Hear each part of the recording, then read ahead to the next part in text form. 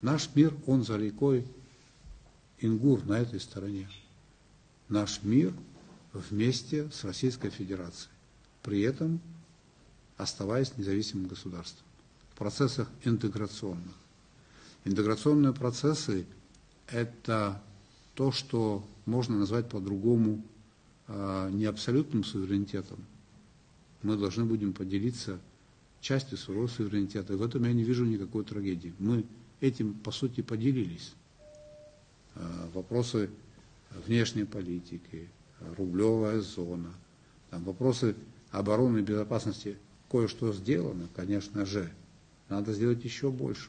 Я же вижу в этом только плюс, потому что дорогое это, неподъемное для нас мероприятие – содержать современные вооруженные силы.